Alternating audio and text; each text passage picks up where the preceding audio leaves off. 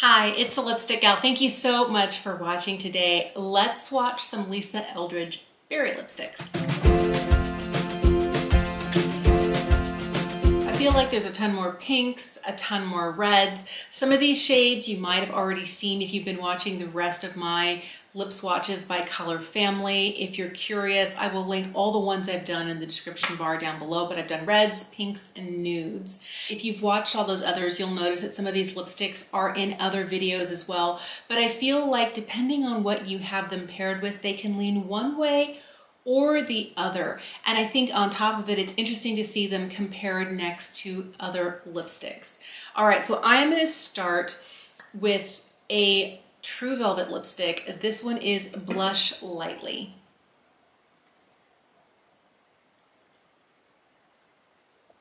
I love this shade.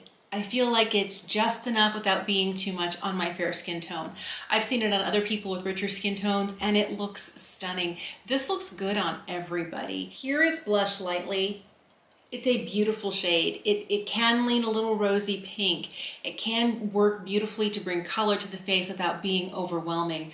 I think that there's a, a beautiful subtlety and distinction to this color where it's not too pink, where it's not too cool toned. There is, interestingly enough, I feel like a little bit of warmth to this. I don't understand like the the alchemy that goes into creating these shades. I feel like there's a little bit of magic because these shades are unlike others in my collection. I think I, oh, this one looks very similar to, and I'll swatch it next to a Lisa Eldridge lipstick. And there's something that, there's a, a little bit more vibrancy, a little bit more uniqueness in the tones of the lipsticks. It does at times look like a straight up mauve, but then you swatch it next to the rest of the mauves in my collection and it's real different.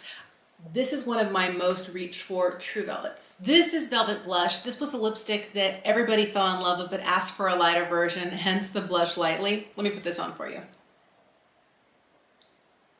Here is Blush compared to Blush Lightly. This has a distinctly deeper, almost like blackberry lean to it. And I'm not saying that it's a blackberry, but there, there is something in here that makes it deeper because side by side, they don't look that different.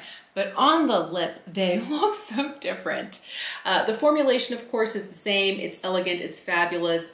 But this color, there's a little bit of almost like an eggplant or aubergine kind of coolness to it, but it's earthy at the same time. I don't know what it is. I feel like Lisa has this incredible ability to find just the right undertone to create a shade that I have not seen on a lipstick before. Now, I'm not telling you I've tried all lipsticks. I haven't. There's too many. But I feel like we see a lot of the same shades. Sometimes reds have a similar look to them. Sometimes pinks will have a similar look to them. Sometimes mauves will have a similar look to them. But the reason I reach for these lipsticks over and over again is not just because of the formulations or the elegant packaging or that they're by Lisa, but it's because the colors are so unique and different from other things in my collection. And this shade right here in blush is absolutely stunning. This next lipstick is new. It's one of the luxuriously lucent lipsticks, and this one is in the shade Night Thoughts. Here is Night Thoughts. I like that it's a shiny, comfortable formula.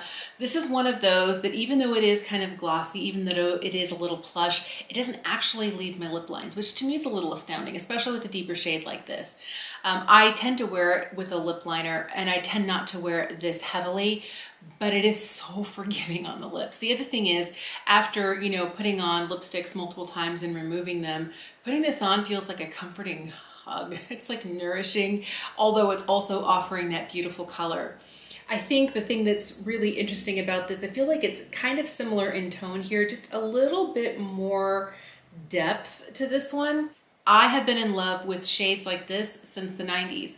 Shades that are glossy, that you can sheer out, that you can build up, that look good on a variety of skin tones, that have kind of like a little bit of a eggplant undertone with them without being too purple, um, that aren't too brown. This was kind of like the lipstick I was looking for and I used to have a lipstick almost exactly like this. And then of course it got discontinued. I was like, no, how dare you? So when this shade came out and I was looking at it in the bullet and I was like, I don't wear lipstick shades that dark. But then I reminded myself that this was the Luxuriously Lucent formula. It was buildable. It didn't have to be full force. It probably wasn't going to look that way on my lips. But this has been an absolute delight and I reach for it all the time. This next shade is not even really a berry, but I wanted to show it to you because it is kind of purple leaning. It's very orchid in tone and I didn't know where else to put it. I swatched it with the pinks, but it's not really a pink, so we'll throw it in here. This is a new Insanely Saturated shade for this year called New Wave. Here is New Wave. It is very bright. It is very unapologetic and it leans a little bit more orchid. It's not really berry, but it's not really a pink. It's not really a purple. It's interesting. I didn't know where else to put it, so it's in this lineup. But as you're looking at it compared to the rest, it definitely reads a little bit more fuchsia here. But to me, instead of being like fuchsia, fuchsia, I think like hot pink. This definitely is more like a orchid, hot orchid shade. This is beautiful and is very much a statement lip. This formulation is also a little bit different. It is a, a demi matte. It's super comfortable. It's easy to wear all day long. I like the way these feel. I love the way these wear. This shade makes me want to get Velvet Carnival. There are only four shades of Lisa's lipsticks that I don't have, and that is one of them. But this is so much fun to wear and so stunning on. It's so attention grabbing. This next lipstick is one of my favorites. This is Velvet Myth. I love this color so much. This is kind of the one that I reach for on days when I want something that's bright but not a red. I love Velvet Myth. And if you're looking at it compared to the others, you know, it definitely leans a little bit more cherry or a little bit more maybe currant in tone. This is a gorgeous, gorgeous shade of lipstick. And the Velvet formula is so comfortable to wear. Lasts really well throughout the day, easy to reapply over itself. It doesn't get bunchy, it doesn't get dry, it never uses and abuses my lips. They always feel great at the end of the day, but this is a fabulous, bright color. Got a little lip staining here, I'm not mad at it, but let's try on the last two lipsticks I have for you. This next one is officially a red, but this is one that I felt would be interesting to see swatched next to the rest of these deeper kind of vampier tones. This is Velvet Jazz. So this is definitely not a berry tone, but I wanted to swatch it next to some of these really deep tones so you could see what it was like compared to if you were thinking, okay, how does it pair up next to Velvet Myth? Here is Velvet Myth, which is definitely more berry in tone, a little bit more kind of blackened cherry, and this is Velvet Jazz.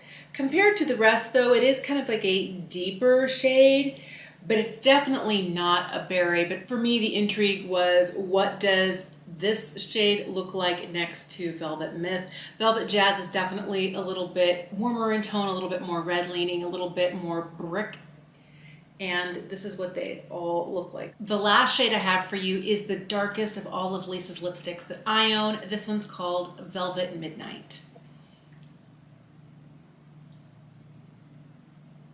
This is the lipstick that I wear the least. It's a beautiful shade, but on me it pulls almost black. And that's if I'm wearing it full force. I tend to wear this when I am wearing it very heavily blotted or just kind of blurred on with my finger. This is what it looks like. Um, it does have very much kind of like a eggplant aubergine lean to it. it. It definitely has more of that darkness. It's definitely cooler. It's a statement for sure. Let me blot most of this off and show you how I wear it. When I wear Velvet Midnight, this is the way I end up wearing it. I'll put on just a little bit, I'll share it around with my finger. You'll see that my finger has kind of got some extra color on there. And then I'll build up a little bit more kind of like on the outside corners right here at the edge of my lips. And then I'll just kind of bring that in. Sometimes I'll put like a little bit of Velvet Myth in the middle for just a little bit more color.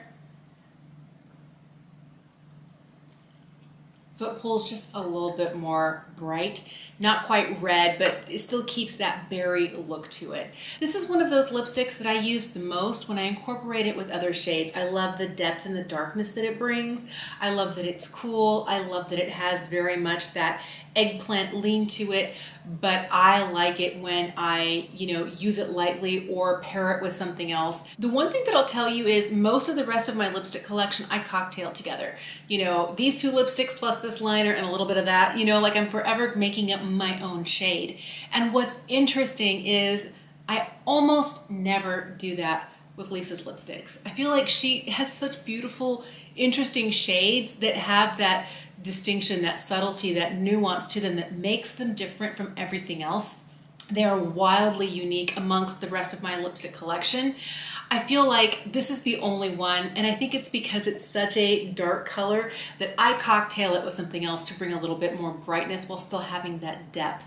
But it's more just because it's such a stark look against my fair skin. Here are all of those shades. It starts here with Velvet Blush Lightly, Velvet Blush, Night Thoughts, New Wave, Velvet Myth, Velvet Jazz, and Velvet Midnight. I love that I have this many Lisa Eldridge lipsticks. I have so many but I actually really enjoy reaching for them. In the spring and summer, I tend to reach for more of the luxuriously lucent. They're sheer, they're lightweight, they're much more forgiving. Winter and fall, I tend to reach for, you know, some of these darker kind of berry tones or the bright reds. I love that I have such a wide and varied collection amongst Lisa's different finishes and different shades. I am so impressed and I can't wait and I'm hoping crossing my little fingers and saying I've been a good girl this year that she releases a holiday collection or maybe even one for fall. yes. Hey, thanks so much for watching today. Don't forget, I am listing all of the other kind of Lisa Eldridge lipsticks by color family in the description box down below. I have a video of reds, one of pinks, one of nudes, they'll all be there. And the last one I have to do is kind of corals and peaches. That's coming next. Let me know if you have a favorite shade. If you just don't get into Lisa's lipsticks, but you love lipsticks in general, what is the one shade that you wish had not been discontinued? Because one of these is a fave because it's like an old fave that they don't make anymore. Or one that you cannot stop repurchasing that is like your holy grail that you always have. Let me know in the comment section down below. Thank you so so much for watching. Have an incredible day and i'll see you again soon